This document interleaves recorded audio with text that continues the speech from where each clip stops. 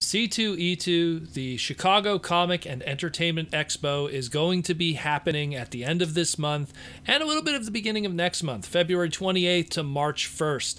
And what does this got to do with Transformers? Well, the awesome peripheral company of Han Cholo, I love the name, is going to be releasing more of their Transformer related licensed and merchandise items. Now, if you're not familiar with Han Cholo, they do a lot of really high end kind of pendants and pins and patches and earrings, even of different licensed properties. They do uh, Power Rangers, He Man, Voltron, She-Ra, Dungeons and Dragons, Universal Monsters, and of course, Transformers.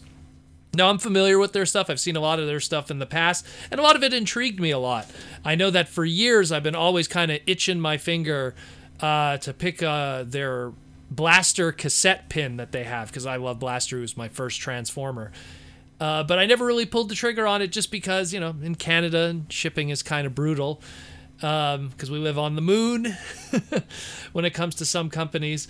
But it just, uh, as it stands, like they make some really cool stuff though. And I mean, if you go through their back catalog, they do like all kinds of pendants, and a lot of their stuff comes with the option of uh, 0.92.5 sterling silver or vermeil 24 karat gold. So you could get like crazy like Soundwave in his alt mode in, in 24 karat gold or sterling silver, or Grimlock in alt mode, or Ravage in in non cassette mode. And then there's their huge pin series, which are amazing, beautiful pins of all the different cassettes and he- uh, head busts of let's say Optimus Prime, Megatron, Soundwave, Starscream. A lot of these actually, because they're so popular, are sold out. Like the Bumblebee, the Starscream the Soundwave, the Unicron, the 25th anniversary Optimus pin, those ones are sold out. Some of them are still available.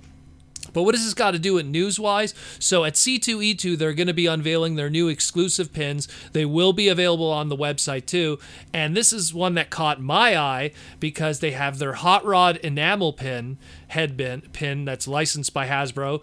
Their Soundwave one that now will accompany their blaster and two cassettes of. Uh, Laserbeak and Ravage, and a Optimus Prime studded earring series, which again also will come in that uh, sterling silver option.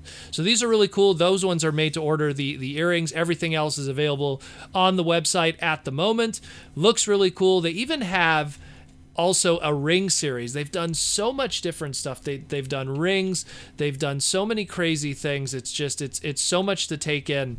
Um, if you even look at their ring series, those ones too also come in gold and sterling silver. Optimus, Megatron, Soundwave, and a Soundwave cassette mode if you want that. So definitely check out their website. Even their non-Transformer stuff, like their Power Ranger stuff, is really cool looking. And it's just even if you're not interested in buying, just check it out because it looks really cool. A lot of it is really awesome to look at, and it's all going to be at C2E2 coming up. So be sure to uh, swing by there if you are in the area. Again, February 28th to March 1st.